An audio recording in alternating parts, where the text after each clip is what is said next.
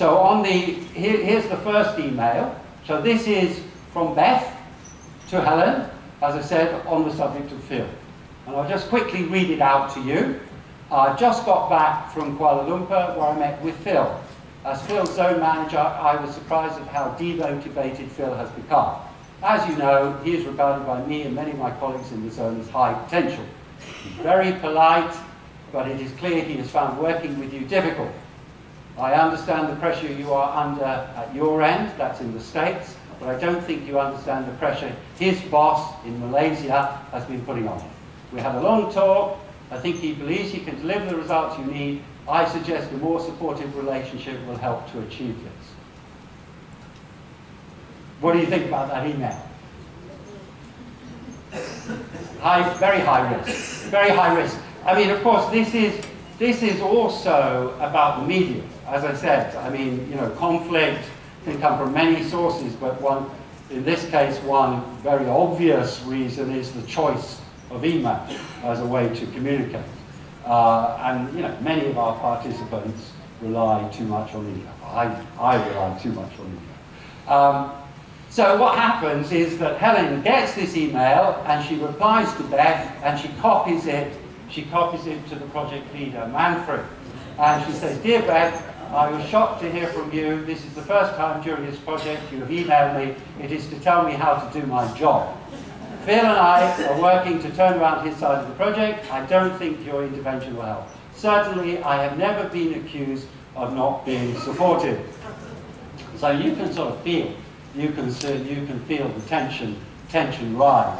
And, and it rises to the extent that Helen is not happy just leaving it there. She thinks, you know, she sends off the email, nothing happens within five minutes. She said, bloody hell, right, okay, I'm going to get on the phone. And who does she phone? She phones Manfred. And that's what I'd like to look at now uh, and just see how this uh, plays out. So here's a call uh, between Helen and Manfred. Poor old Manfred, as you can see, as you can see from his jacket, he's just about to leave the office. There's a, there's a time zone, obviously Manfred's in Germany, Helen is in the States. Okay. Okay, so I just need to press on.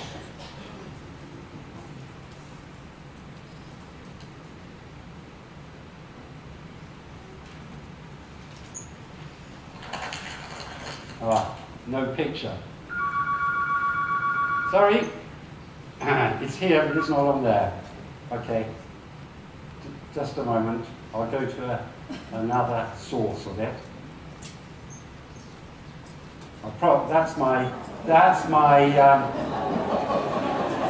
that's my, that's my grandson. I didn't, I didn't, I didn't, I didn't do this deliberately, I promise, to curry sympathy with you, but actually this, this, is, a, this is a very big moment for me.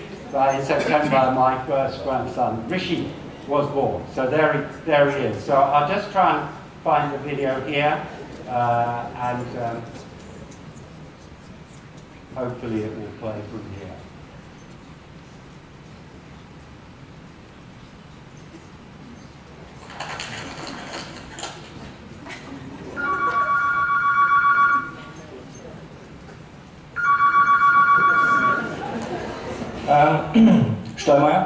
Manfred, this is Helen. ah, um, good evening, Helen. Um, oh, good morning for you. Did you see the email?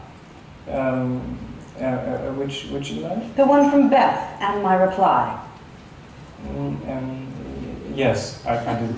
So, what do you think? She has no right to tell me how to do my job.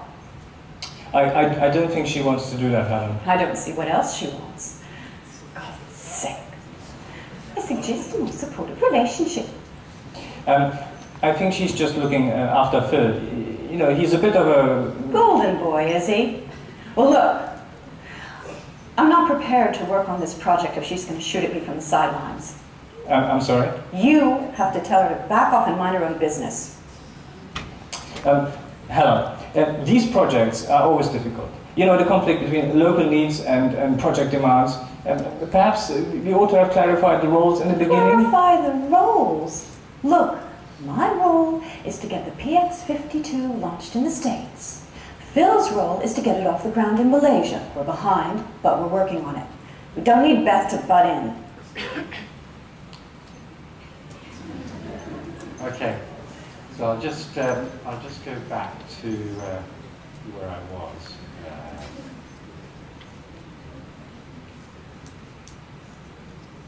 so the reason I wanted to show you that is just to get us to reflect on what we mean by mindfulness and what we mean by push and pull.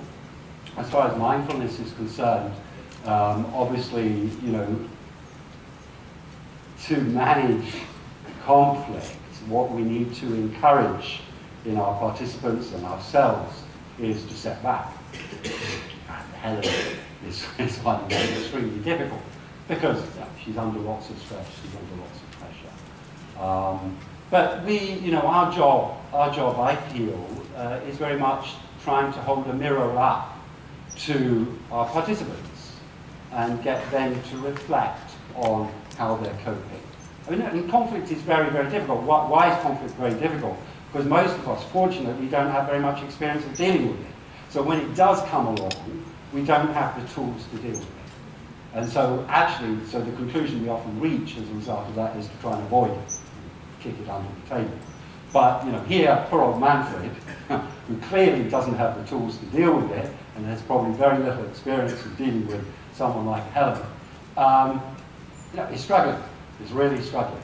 So, so we can use we can use these we can use these videos as a bridge uh, to encourage our participants to think about their own mindfulness, their own abilities to step back and distance themselves, and we can also get them to then move on to think about this push-pull thing.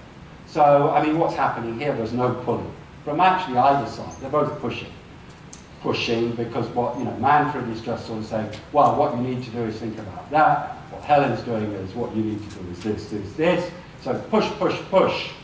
Um, and I think, you know, if I was to uh, encourage Manfred in this situation, what I would suggest is Manfred should say to Helen, it's not a good moment, uh, you know, this is not a good moment I'm going to call you back tomorrow. I need time to think about this, I need time to look at your email, I need time to talk to Beth, I need time to talk to Beth, then I'll call you back tomorrow. It might not help Helen, she might be still furious, but, but you know, that, that ability to step back, reflect, and then take action, and think about what's the best way to do it, is what I, what I feel that I, I try to help my participants with. Okay, so that's, um, that's one example of um, of conflict and the mindfulness and the push and the pull. Um, I just wanted, the third point on my agenda was, was attitudes. And I said, um, I'm not going to talk a lot about attitudes, but you know, finally, attitudes are the most critical thing in terms of developing our participants. And uh, what do I mean by attitudes? I mean uh, openness, curiosity, those sorts of things. And it's not our role uh, often to put those at the top of the agenda when we talk to our clients and say, okay, I'm going to take your executives and I'm going to make them more curious and more open-minded. However, however, hopefully the way we go about these things will lead to that. And I always show, increasingly I show my uh, participants this little quote from Gandhi, which I like a lot. Um, so I'll just share this with you. Um, I do not want my house to be walled in on all sides and my windows to be stuffed. I want the cultures of all the lands to be blown about my house as freely as possible, but I refuse to be blown off my feet by any. I like this. I like this because obviously Gandhi, for me, what Gandhi is saying there is that it's extremely important to be open and curious about other cultures. Um, but it's also important to be confident about your own culture or your own, your own values. And I think that's, that's, again, a little bit the push and the pull. We, we need to encourage our participants. You know, if, if, a company, if a company sends I don't know, a German to work in Venezuela. Why, why did they do that? They partly do that because they hope that they will learn something about the way the Venezuelans do business and adapt to that. But they also send them because he, that, that German's got something about the way he's done business that he can share. So he needs to be confident about what he's got, what he's got to share, and to be open uh, to where he's going. So I, I, I, always, I always like to show that. Okay, so those are the three, the three, the three areas of challenge, which I think you know, we need to work on, building knowledge, developing skills, and perhaps under the surface, working on attitudes. Um, and now I'd like to finally just um, share with you just one or two examples of the solutions